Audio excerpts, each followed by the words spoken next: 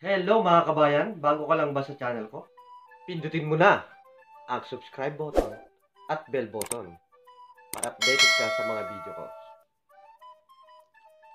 Ano pang hinihintay mo? Umpisa na natin ang kwentuhan dito sa aking tahanan.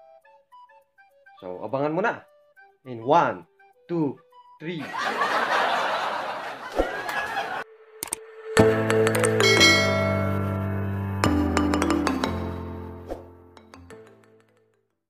Kabayan, naalala niyo pa ba si si Balbon?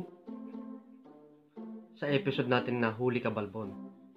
Eh ngayon i-update ko na po kayo kung anong na nga nangyari sa trap natin. At kung may nahuli na ba? O meron.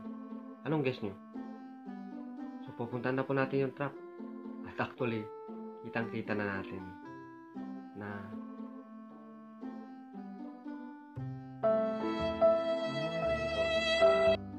mayroon po tayong nahuli. So, effective po talaga na pag nakadikit po yung balbon niya doon sa trap natin, is hindi na po siya makakawala. Huling-huli po si balbon. At ah, very effective po yun na yung ah, trap na, na binili natin.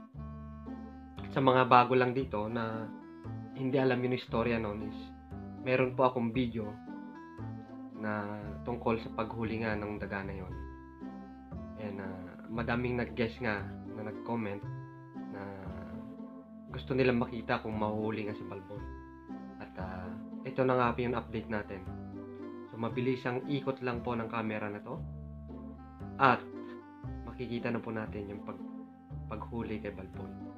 Kung nakahuli nga yung trap natin. Ang gulo ko no. Pero by the way, matatapos na yung episode na panghuli ka kay Balbon. At ito na nga po ang update. Guys, andito na tayo sa area na kung saan is um, inilagay natin yung trap natin noong nakaraan. So, makikita nga natin. Turn lang natin. Yun.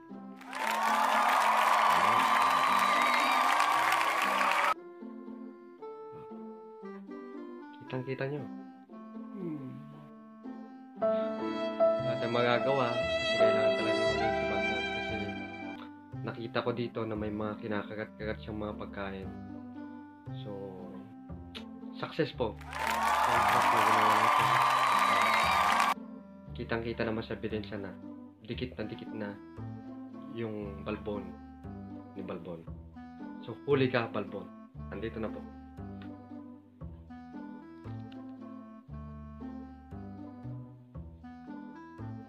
Ayan po si Balbon. Nahuli na po si Balbon.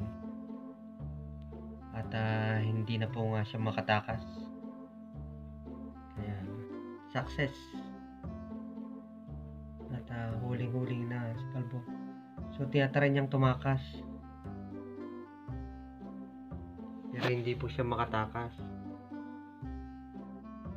So guys, dito nga natin tatapusin yung episode na kung mahuli natin si Balbon o huli ka Balbon. Ito na po yung part 2 at tatapusin na po natin yung episode na to.